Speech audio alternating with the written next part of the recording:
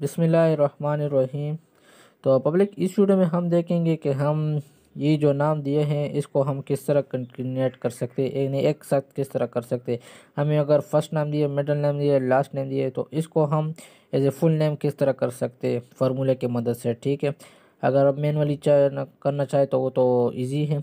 काद आज़म लिख दे, इधर सादुद्दीन लिख दे। तो इस तरह मैं नहीं चाहता। मैं फार्मूले की मदद से करना चाहता हूँ तो किस तरह होगा? तो इधर क्या करना है? इक्वल टू लगाना है। फिर है कंटिन्यूशन की फार्मूला कंटिन्यूट ठीक है? इसको सेलेक्ट कर दूँगा। अभी है टेक्स वन तो मैं फ़र्स्ट नेम को सेलेक्ट कर दूँगा कॉमा लगा दूँगा। इसके दरमियान मुझे स्पेस चाहिए तो क्या करना होगा? डबल कोटेशन को ओपन करना है।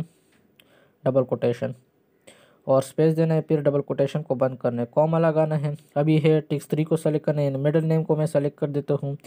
फिर कॉमा लगा दूँगा।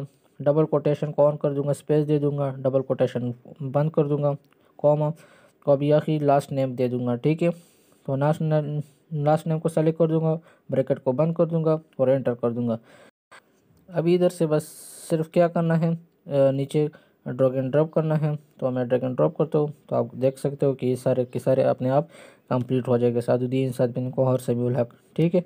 तो ये सारा इस तरह आप कंटिन्यूट कर सकते हो। एक फार्मूले की मदद से तो thank you so much for watching my video अगर वीडियो अच्छी लगी तो लाइक कर दें और अपने दोस्तों के साथ शेयर भी कर लें।